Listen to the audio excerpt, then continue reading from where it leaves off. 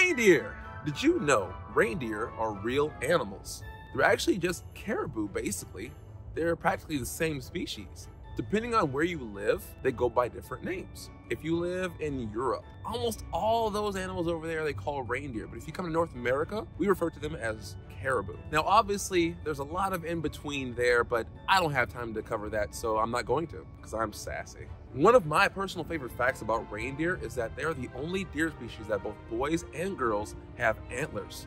And did you know antlers fall off and regrow every single year?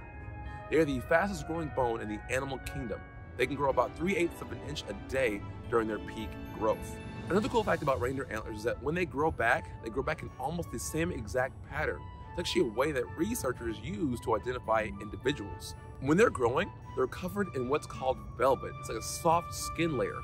And underneath that velvet is a blood circulation, blood flow, which helps nourish the bones as they grow.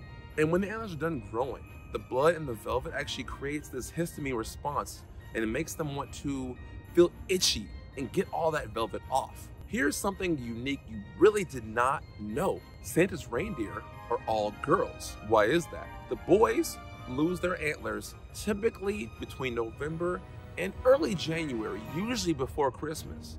But the girls keep their antlers all the way until springtime because they are usually pregnant they have to keep those antlers to protect themselves from pushy males and so they can get more resources easily. So, girl power.